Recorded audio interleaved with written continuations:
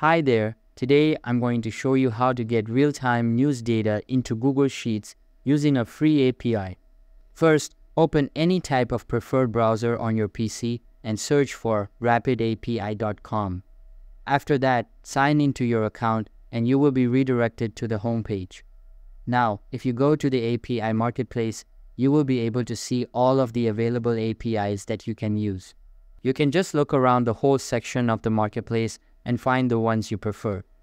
If I go to the search bar at the top and search for real-time news, you can see that all of the APIs related to the topic I just searched have appeared on my screen. We've got IG data, Google News, and some others along with it.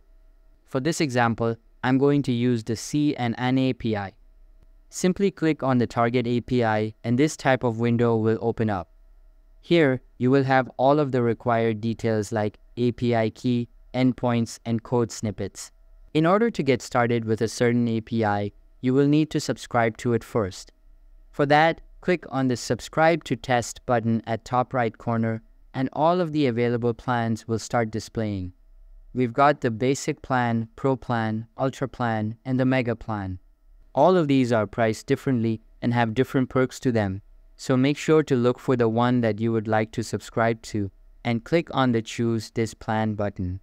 If you don't want to get a paid plan, you can also go with the basic to get the API for free. After selecting the plan, make sure to link a debit or credit card with your account. Once linked, click on the subscribe button to complete the subscription process. After the subscription is successful, you will have a congratulatory message showing up. Now, the next step is to select the target endpoint. In this API, there are various endpoints available and you can choose any one of them. But if you're integrating a different API, then the number of endpoints may differ. After selecting a specific endpoint, get to the code snippet section at the right side and make sure to select shell and curl in the target and client fields respectively, as this snippet helps in getting the header keys easily. Now that you've got Rapid API set up, it's time to move on to Google Sheets. But first, you'll need to install the Apipheny extension. For that, open a new tab and search for apipheny.io slash install. You can also check out the link in the description below. Just click on it and you'll be taken directly to the download page. Now, click on the install button and open the Google Sheets website in a new tab.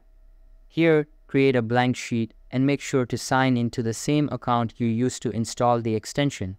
After installing the extension, open the extensions menu again and the Apipheny extension will start displaying at the bottom of it. Simply click on it and select Import API from the submenu. Now wait for it to load and a new side panel will appear on your screen. You will have the URL field at the top, then the reference and cell values section beneath it. For the URL, go back to the Rapid API website and then copy the URL from the Code Snippets tab. Once copied, go back to Google Sheets and then paste the link into the top bar. As for the headers, make sure to add two new fields.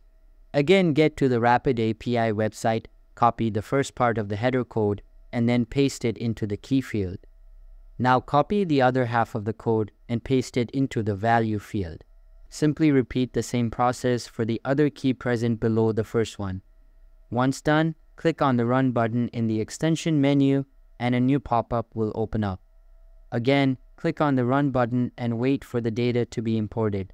You can see that we've got the required news data as we selected the news by category endpoint. In order to change the API parameters, get back to Rapid API and then access the Params tab from the top. You can then choose the deciding parameter for your API. This can be something related to your API, like the category of interest. After I change the parameter, you can see that the URL address changes for the API key. Simply paste this URL into the dedicated bar and then run it to get the preferred results. Note that there are no limits to selecting APIs, so make sure to select whichever one you prefer and then import data into your Google Sheets based on that. So that's how you can find and use free APIs in Rapid API along with the Apipheny add-on to get any data you want into your Google Sheet. If you have any questions, feel free to leave a comment or contact our support team. Thanks for watching and have a great day.